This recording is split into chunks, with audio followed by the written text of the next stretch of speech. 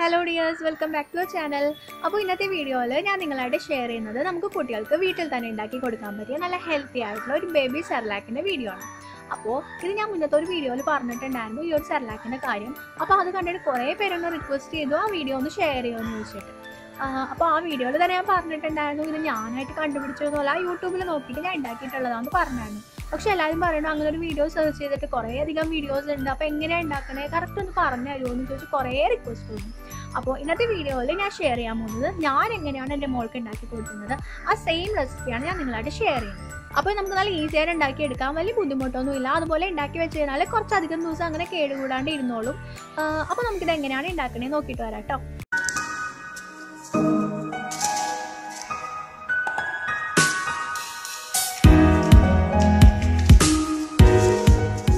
അപ്പോൾ ഈ ഒരു സാരലാക്ക് ഉണ്ടാക്കാനായിട്ടുള്ള ഇൻഗ്രീഡിയൻസ് എന്തൊക്കെയാണെന്ന് ഞാൻ പറയാം. ആദ്യം തന്നെ രണ്ട് ടേബിൾ സ്പൂൺ ചെറുപയർ പരിപ്പ് രണ്ട് ടേബിൾ സ്പൂൺ കടലപ്പരിപ്പ് രണ്ട് ടേബിൾ സ്പൂൺ സാമ്പാർ പരിപ്പ് അല്ലെങ്കിൽ നമ്മൾ തുവരപ്പരിപ്പ് എന്നൊക്കെ പറയും. പിന്നെ ഒരു രണ്ട് ടേബിൾ സ്പൂൺ പച്ചരി പിന്നെ ഞാനൊരു അഞ്ച് ബദാമും അഞ്ച് കാഷ്യൂസും എടുത്തിട്ടുണ്ട്. ഇനി നമ്മളിതെല്ലാം കൂടി ഒരു പാനിലോട്ട് ഇട്ടിട്ട് ഒരു അഞ്ച് മിനിറ്റ് നേരം വറുത്തെടുക്കുക. ഞാനിത് ഓൾറെഡി കഴുകി വൃത്തിയാക്കിയിട്ട് ഒരു വൺ അവർ വെയിലത്ത് വെച്ച് ഉണക്കി എടുത്തിട്ടുള്ളതായിരുന്നു ഇനിയിപ്പോൾ അല്ലാന്നുണ്ടെങ്കിൽ നമ്മൾ അപ്പം തന്നെ കഴുകി വൃത്തിയാക്കിയിട്ട് നല്ല ഒരു വൃത്തിയുള്ള തുണിയിൽ തുടച്ചെടുത്താലും മതി. നമ്മളിത് അപ്പം തന്നെ വറുക്കുന്നതുകൊണ്ട് വെയിലത്ത് വെച്ച് ഉണക്കണം നിർബന്ധമൊന്നുമില്ല. അതായത് ഇപ്പം നല്ലോണം വറുത്തെടുത്തിട്ടുണ്ട് അരിയുടെ കളറൊക്കെ മാറിയിട്ട് അരി ഒരു ഇത്തിരി വലുതായിട്ടുണ്ട്.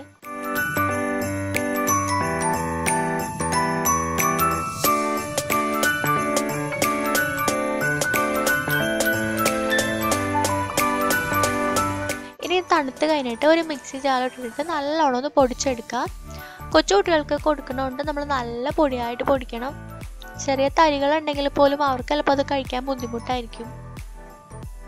ഇനിയിപ്പോൾ നമുക്ക് സാധാരണ കുറുക്കുകളൊക്കെ ഉണ്ടാക്കുന്ന പോലെ തന്നെ ഉണ്ടാക്കിയെടുത്താൽ മതി. ഞാനിപ്പോൾ ഇത് ജസ്റ്റ് രാത്രി വീഡിയോ എടുക്കാൻ വേണ്ടിയിട്ടായതുകൊണ്ട് ഒരു ടേബിൾ സ്പൂൺ എടുത്തിട്ടുള്ളൂ. നമ്മൾ കുട്ടികൾക്ക് ആവശ്യത്തിനുള്ള അത്രയും പൊടി എടുത്തിട്ട് വെള്ളത്തിൽ കുറുക്കിയെടുക്കുക. ഇതിപ്പോൾ സെർലാക്ക് എന്ന് പറയുന്നുണ്ടെങ്കിൽ നമുക്ക് ഇൻസ്റ്റന്റ് ആയിട്ട് ഉണ്ടാക്കിയെടുക്കാൻ പറ്റില്ല. ഒരു അഞ്ച് മിനിറ്റ് നേരമെങ്കിലും ഇത് കുക്ക് ചെയ്യണം.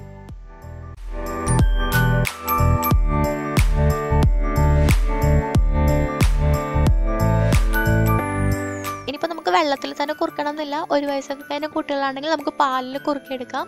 അതല്ല ഇപ്പോൾ കുഞ്ഞു കുട്ടികളൊക്കെ ആണെങ്കിൽ നമ്മൾ അവർക്ക് ഫോർമുലയിൽ ഈ ഒരു പരുവത്തിൽ കഴിയുമ്പോൾ എന്നിട്ട് ഫോർമുല ആഡ് ചെയ്തിട്ട് അങ്ങനെ വെള്ളം കൊടുക്കാം.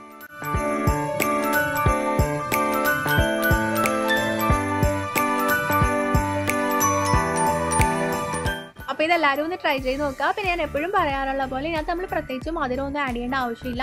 പ്രത്യേകിച്ച് ഒരു വയസ്സിന് താഴെയുള്ള കുട്ടികൾക്ക് ഒരു താരി പോലും മധുരം ഉപ്പ് ഒന്നും കൊടുക്കേണ്ട ആവശ്യമില്ല. മാക്സിമം നമ്മളിത് മധുരം ഇല്ലാണ്ട് തന്നെ കൊടുക്കാൻ നോക്കുക. പിന്നെ കുട്ടികൾ കുറച്ച് വലുതായി കഴിഞ്ഞാലും നമ്മൾ അവർക്ക് മധുരം കുറച്ച് തന്നെ കൊടുക്കുക. ഒരുപാട് മധുരം ഒന്നും കൊടുക്കാണ്ടിരിക്കുന്നതാണ് ഏറ്റവും നല്ലത്. നമ്മൾ ഈ കടയിൽ നിന്ന് വന്ന് സെറലാക്കുന്നതും ശരിക്കും അത്ര നല്ലതല്ല കേട്ടോ. അതിനകത്ത് ഒരുപാട് മധുരമൊക്കെ ആഡ് ചെയ്തിട്ടുണ്ട്. അതുപോലെ എന്തെങ്കിലും പ്രിസർവേറ്റീവ്സും കാര്യങ്ങളൊക്കെ ഉണ്ടാവും. അപ്പോൾ നമ്മൾ കുട്ടികൾക്ക് വിശ്വസിച്ച് കൊടുക്കാനായിട്ട് അത്ര നല്ലതല്ല അതൊന്നും. നമ്മൾ മാക്സിമം കുട്ടികൾക്ക് വീട്ടിലുണ്ടാക്കിയ ഭക്ഷണം തന്നെ കൊടുക്കാൻ നോക്കുക. വേറെ പുറത്തുനിന്ന് വാങ്ങുന്നൊന്നും അധികം കൊടുക്കാണ്ടിരിക്കാം അപ്പോൾ നിങ്ങൾ ആദ്യമായിട്ടാണ് ഈ ചാനൽ കാണുന്നതെന്നുണ്ടെങ്കിൽ ഇതുപോലത്തെ ഇൻഫർമേറ്റീവ് വീഡിയോസ് ഒക്കെ ഇനിയും വേണമെന്നുണ്ടെങ്കിൽ ഇപ്പോൾ തന്നെ ചാനൽ സബ്സ്ക്രൈബ് ചെയ്തേക്കുക. പിന്നെ എന്റെ വീഡിയോ ഇഷ്ടമായിട്ടുണ്ടെങ്കിൽ ലൈക്ക് ചെയ്യുക. പിന്നെ എന്ത് ഡൗട്ട്സ് ഉണ്ടെങ്കിലും ചോദിക്കുക. പിന്നെ അഭിപ്രായങ്ങളൊക്കെ കമന്റ് ചെയ്യുക. നിങ്ങളുടെ ഫ്രണ്ട്സ് ആൻഡ് റിലേറ്റീവ്സ് ആർക്കെങ്കിലൊക്കെ കുഞ്ഞുകുട്ടികളൊക്കെ ഉണ്ടെങ്കിൽ അവർക്കൊക്കെ ഈ വീഡിയോ ഒന്ന് ഷെയർ ചെയ്ത് കൊടുക്കാം. അപ്പോൾ നമുക്കിനി വീണ്ടും അടുത്തൊരു വീഡിയോയിൽ കാണാം. Bye bye.